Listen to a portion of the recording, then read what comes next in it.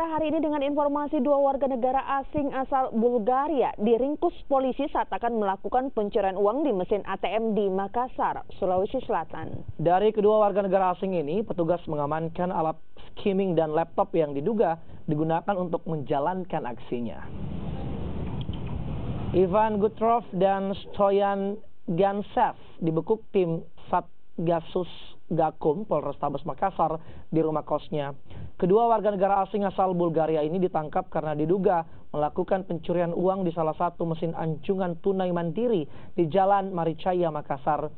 Dari dua warga negara asing tersebut, polisi mengamankan barang bukti berupa enam alat skimming, satu buah alat bor yang digunakan untuk memasang alat skimming ke mesin ATM serta satu buah laptop sebagai alat untuk mencetak hasil scan kartu ATM milik korban. Yang utama yaitu alat uh, skimmer ataupun alat skimming yang dipasangkan.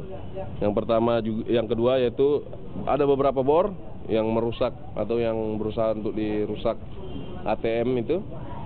Terus yang ketiga ada laptop dan beberapa perangkat untuk apabila ada kartu ataupun alat transaksi diambil datanya dan dipindahin ke laptop maupun hard disk tersebut.